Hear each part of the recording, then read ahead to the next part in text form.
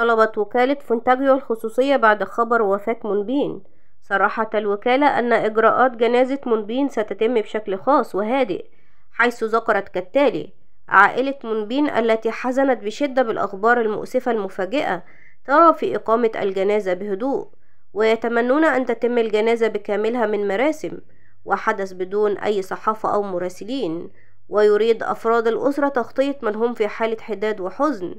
نطلب بإخلاص أن تجعلوا رحلته الأخيرة جميلة. إن لله وإنا إليه راجعون. توفي الشاب مونبين. عضو فرقة أسترو وذلك عن عمر ناهز الخمسة وعشرون عام. حيث أبلغت السلطات الكورية أنه تم العثور على المغني مونبين واسمه الحقيقي مونبين ميتا في منزله بالعاصمة الكورية سول في حوالي الساعة الثامنة وعشر دقائق.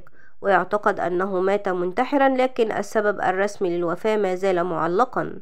وبعد وفاة منبين أصدرت فرقته بيانا تعزيه فيه وقالت فيه أقارب منبين وجميع من عملوا معه بما في ذلك زملائهم في الفرقة حزينين بشدة على وفاته وجميع أعضاء الفرقة في حزن وصدمة شديدين وطلبت فرقة إسترو من المعجبين بعدم الاستماع للتقارير التخمينية والخبيثة حيث تتمكن العائلة من التعافي التي حزنت بشدة من الأخبار الحزينة.